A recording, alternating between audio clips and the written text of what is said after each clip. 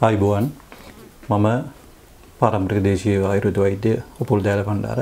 මගේ පරම්පරාව පවතින්නේ මාතලේ වනිගසේකර වෙද පරම්පරාව. මේ ඉතිහාසයේ දිව යනවා මීට සතවර්ෂ තුනකට එහා කාලයකට. ඒ කියන්නේ 1750 ගණන් වලදී තමයි මුලින්ම ලිඛිතව අපිට මේක දකින්න ලැබෙන්නේ. ඊට කලින් පරම්පරාව අපේ වෛද්‍ය ක්‍රමයේ ඉදිරියට තියෙනවා. නමුත් සුවිශේෂ වශයෙන් රාජවරප්‍රසාද ලැබලා වෛද්‍යවරයෙක් වෛද්‍යවරයෙක් වශයෙන් රජුගේ පිළිගැනීම ලබලා නින්දගම් ලබලා නිශ්චිතව ලිඛිතව ඉතිහාසය අපි ආරම්භ වෙන්නේ 1758 දී. කීර්තිසී රාජසිංහ රජුරුවන්ගේ කාලෙදී. එතනදී මූලික වශයෙන් අපේ පරම්පරාවේ හිටපු මාතලේ හිටපු වනිගසේකර වෙදමුදියන්ස කියන මගේ මුල් මුත්ත කෙනෙක්.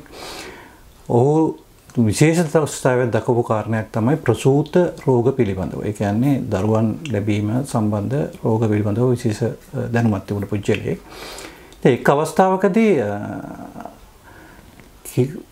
කීර්තිසී රාජසිංහ රජුරුවන්ගේ එක්තර බිසවකට දරුවෙක් ලැබෙන්න ගිහින් ඒ දරුවා ලැබෙන්නේ නැතුව මාරාන්තික තත්වයකට පත් වෙනවා. මේ මාරාන්තික තත්වයට පත් වුණ අවස්ථාවේදී විවිධ ආකාරයේ වෛද්‍යවරුන් මේක දරු ප්‍රසූතිය කරන්න උත්සාහ කළාට සාර්ථක වෙන්නේ නැහැ. නමුත් රජුට දැනගන්න ලැබෙනවා මාතලේ ඉන්නවා මෙන්න මේ ආකාරයේ වෛද්‍යවරයෙක් කියලා. ඒ ඌව කැඳවනවා. එතම ලොකු වයසක තිබුණේ මෙයා වෛද්‍යවරුන් අවුරුදු 20 ගණනක වයසක හිටපු තරුණ වෛද්‍යවරයෙක් වශයෙන් තමයි ජාතියෙන්නේ. ඉතින් මේ ඇවිදින් මෙයා තමන්ගේ දැනුම යොදාගෙන පරීක්ෂා කරලා බලනකොට දුටු කාරණය තමයි අර බිසවගේ කුස තුල ගර්භාෂය තුල මේ කලලය මිය ගොස්. හිස පහලට හැරෙන්න ඕනේ දරු කරලයක් ප්‍රසූති සිද්ධ වෙන්න පහසු වෙන්නේ. එහෙම නැත්නම් ඒක ප්‍රසූති සිද්ධ වෙන්න තු හිරවීමක් සිද්ධ වෙනවා. මෙත් මේ කලලය හරහාට ඉටලා ඒ වගේම මේ කලලය මිය ගොස්.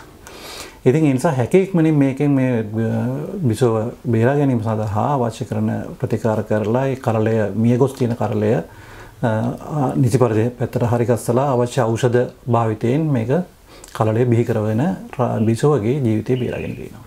මෙන්න මේ බේරගත් අවස්ථාවේදී ඒ ප්‍රසාදයේ වශයෙන් තමයි අපිට මූලික නින්දගම ලැබෙන්නේ.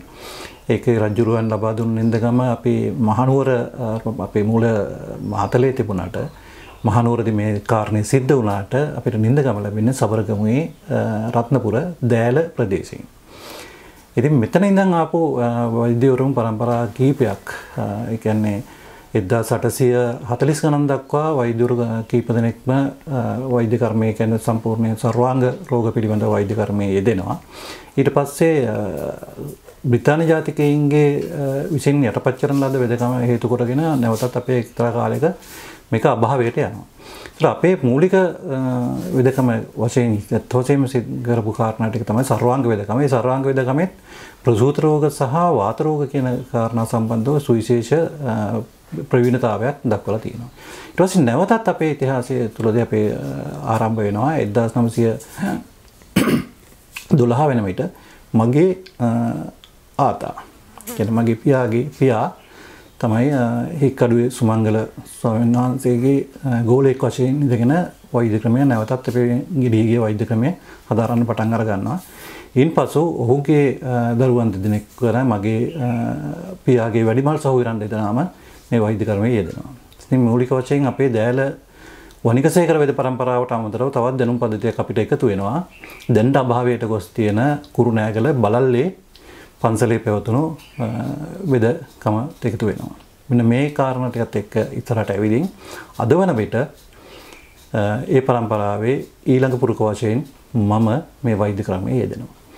ඉතින් අපිට අනන්‍ය වෙච්ච ආයුර්වේදීය මූලධර්ම වල තියෙන දැනුම් පද්ධතියත් එක්ක පාරම්පරිකව අපිට උරුම වෙච්ච අපිට අනන්‍ය වෙච්ච වූ චිකිත්සාවක් තියෙනවා. ඒ චිකිත්සාව තුලින් තමයි අපේ සියලුම ප්‍රතිකර්ම කටයුතු සිද්ධ කරන්නේ. ඒ ප්‍රතිකර්ම කටයුතු තුළදී අපිට තියෙන විශේෂම කාරණය තමයි මොකද පරම්පරා ගණනා වෙදකම කියන එක පුතින් පතින් හදාරන දෙයට වඩා එහා ගිය කාරණයක් බවට පත් වෙන්නේ මොකද අපිට අපේ වෙදකම වෙන ප්‍රත්‍යක්ෂ වෙදකමක්. ඔබ දන්නවා අපි වෙදකමක් කරනකොට අපි පොත්පත් ලියනකොට ඒ වට්ටෝරුවක් ලියනකොට චිකිත්සාවක් ලියනකොට ඒ අවසානයේ අපි ලියනවා බොහොම වැදගත් වාක්‍යයක්. ඒකට කියනවා අද්දුටුවයි සත්තයි කියලා. ඒ කියන්නේ චිකිත්සාව පිළිබඳව සායනික අත්දැකීම් සම්භාරය ඒ සායනික අත්දැකීම් තුළින් නිරෝ ඒ රෝග සුවවීම පිළිබඳව තියෙන ප්‍රත්‍යක්ෂ භාවය. ඉතින් මෙන්න මේක තමයි අපේ වෙදකමේ උරුමය මේක තමයි අපි අනාගතය කරාගෙන යන සුවිශේෂ අපිට අනාගත වෛද්‍ය ක්‍රමය.